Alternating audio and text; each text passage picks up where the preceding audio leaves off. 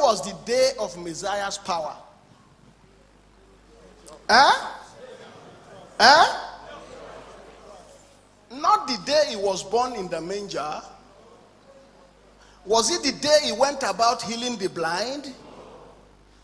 What is, was it the day he raised Lazarus from dead? When was the day of his power? The day he went to the cross. Another version. Tell us your translation and read it. Give to that boy.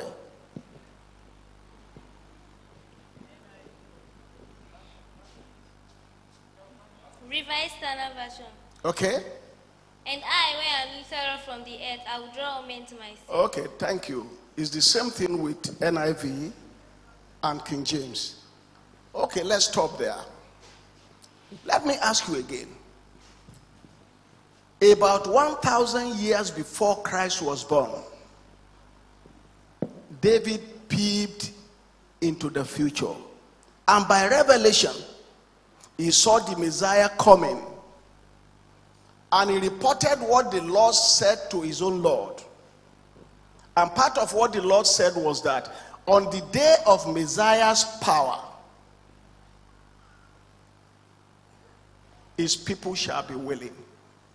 Now we have been able to know the day of his power. Why was the cross the day of his power? Number one, that was the day we were lifted up. That was the day our hope was restored. That was the day the Lord said, Okay, you can no longer continue to be under the bondage of your enemy. He went to the cross. No wonder another scripture verse said, If the prince of this world had known, if the prince of this world had known that he was going to lose you and me, he wouldn't have allowed Jesus Christ to be crucified. That was the day of his power. And that is why the cross must be at the center of Christian preaching. From today, when you hear anybody preaching, whether that person speaks in tongue, whether that person jumps up, whether that person knocks his head on the ground, no matter what that person does, no matter how eloquent that person may be, if the cross is not preached, that person has not preached. Paul said, People come to church for different reasons.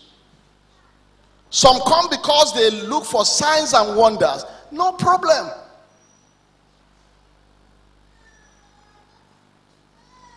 To the Gentiles, they want to listen to the way we construct our grammar. That's what we read. The Jews look for miracle. The Greeks look for what? Wisdom. They want to correct our English. And now listen to me.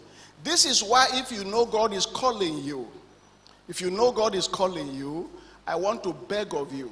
This is not an age when you think ignorance and effectiveness can be compatible. Ignorance and effectiveness are not compatible. Because the Jews will come to hear the word. And the mindset of the Jew was miracle.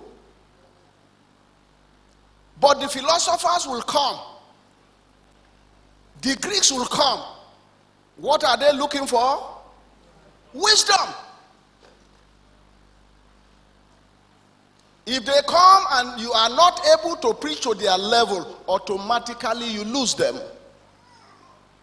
So, young men, young women, if you know God is calling you, you must recognize the place of learning. So you can be able to minister to all categories of people because ignorance and effectiveness cannot go together. So there will always be Jews, there will always be Greek. And all of them have needs that must be met through the preaching of the cross. So Paul said, Yes, they have the right to come and look for wisdom. They have the right to come and ask for miracle. But you just focus on Christ crucified. If the cross is preached, wisdom will be made manifest. If Christ is preached, healing will be made manifest. Miracles will be made available. Because Christ crucified is the power and wisdom of God. So, when was the day of Messiah's power? Answer me. Huh? Huh? The day he died. The day he went to the cross. So don't forget, there are so many motivational speakers in the world today. They want to motivate you. They say, ride in the air.